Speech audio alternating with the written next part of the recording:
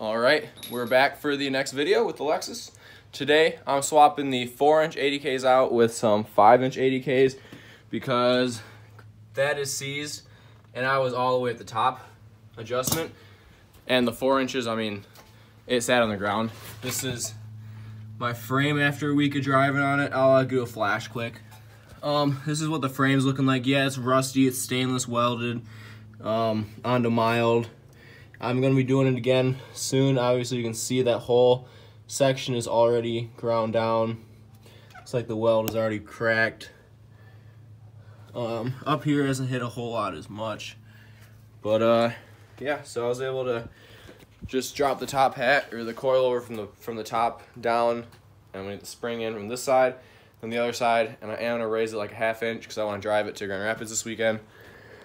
Um, and if I have time, I need to put the solid mount into the rear because right now I only have just the rubber top hats in, and those are soft. Guys, I'm gonna see how long it takes me in one consistent video to swap out a four inch spring for a five inch spring.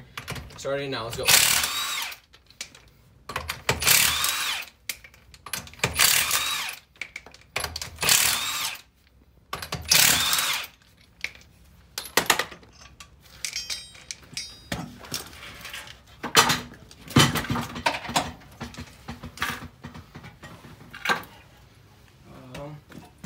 Oh, time's a ticking. Time's a ticking. Time's a ticking.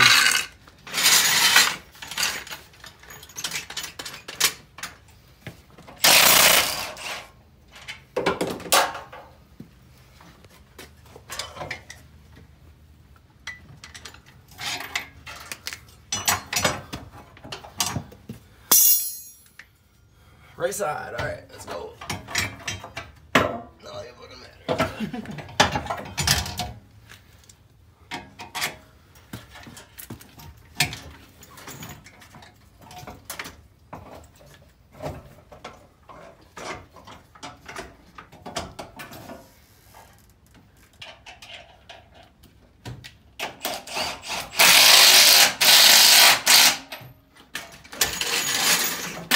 What I do need to do is kind of lower it a little bit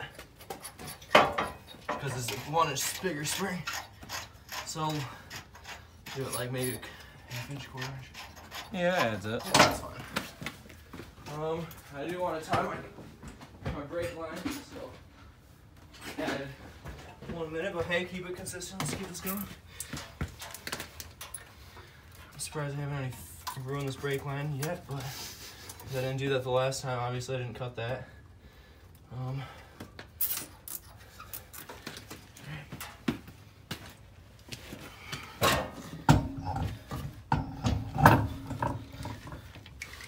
no, I'm not the idiot that just zips his wheels on.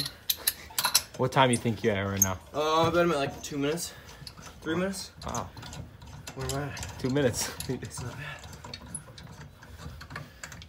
Okay, once I get two in, then I can kind of.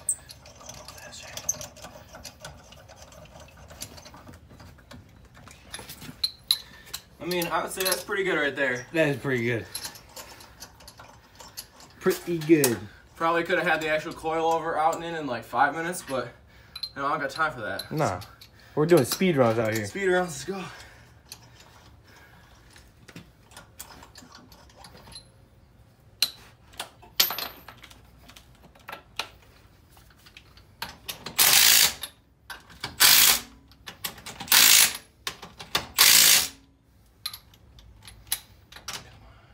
Good. Three minutes on the dot. Let's go. Three minute new new uh, spring spring transfer world record. Yes, sir. God damn. All right, that's sick. What are your spring specs, dude? What are your spring specs? Those are four inch 80Ks. Now I have five inch 80Ks. So it might be softer, I guess. Uh, No, I was, I don't know. Okay, so I got those springs done. That little three minute thing to do that. Just kind of testing myself.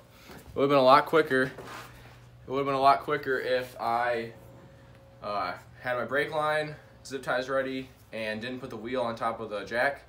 Probably would have saved me like probably a minute. But um, yeah, so next up I'm gonna pull the car out of the garage.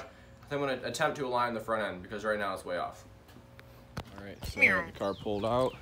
Toe plates are on, and since the frame is too low, I can't use them how I would like. So what I do is I line up this little corner at the one, and I have it raised up because I'm driving to Grand Rapids, which is an hour away on Saturday with it.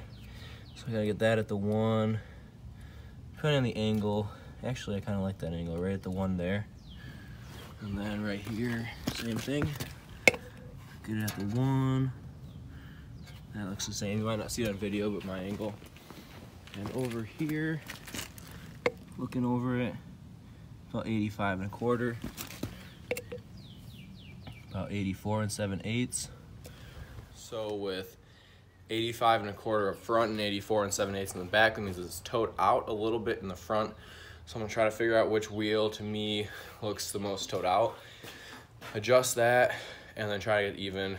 If the numbers are even, the alignment's straight, but it could be turned one way, which can cause the car to crab walk.